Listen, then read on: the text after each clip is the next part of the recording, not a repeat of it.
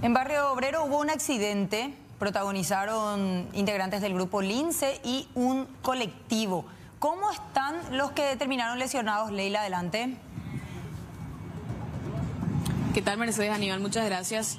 Y uno de ellos con lesiones importantes, Mercedes, el otro ya con golpes un poco más leves, pero estamos ya en compañía del doctor Marcos Delgado para que nos cuente precisamente y nos dé los detalles de eh, cómo llegaron estos agentes del Grupo Lince luego de chocar contra este ómnibus de la línea 38 allí en la zona de Barrio Obrero. Doctor, buenas tardes. Buenas tardes. Bueno, ¿cómo recibieron a estas dos personas? Sí, los pacientes ingresaron aquí luego de ser auxiliados, fueron auxiliados en, primeramente por personales policiales. En uno de ellos el que ingresó con un estado más grave, que es el conductor.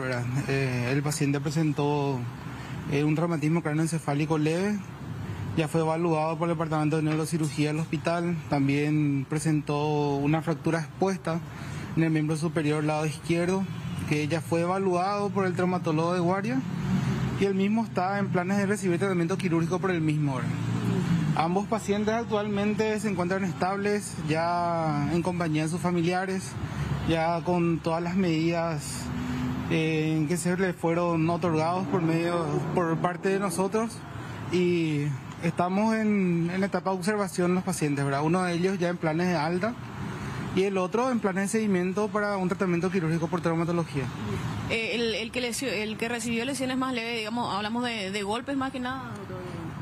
Sí, en así mismo. Fue, gracias a Dios, en golpes leves lo que recibió el que sería el acompañante.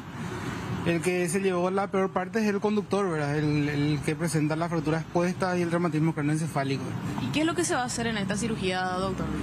Esos detalles eh, tendría que ser dados por el médico tratante, ¿verdad? que sería el traumatólogo de guardia. Ellos son los que van a dar esos detalles más específicos sobre qué tratamiento le, va, le van a dar al paciente.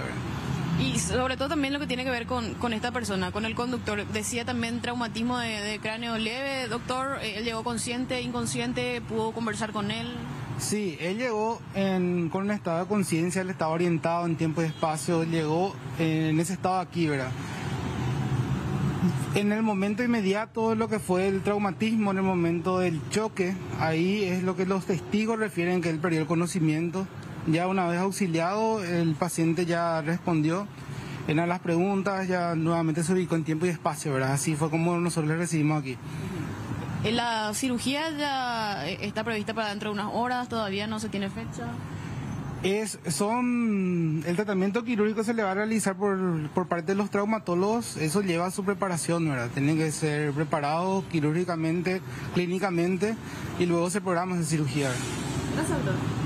Ahí está entonces lo que menciona el doctor Marcos Delgado. Hay que decir que uno de ellos, eh, Mercedes, fue trasladado en la patrullera de los agentes de la comisaría 21 eh, y ya el otro también en una ambulancia. Fueron traídos hasta aquí, hasta el Rigoberto Caballero. Un accidente que ocurría cerca de las 13 y 30 aproximadamente y eh, se habla de un cruce imprudente que habría realizado el conductor de esta de la línea 38 y bueno, que finalmente derivó en este, en este choque.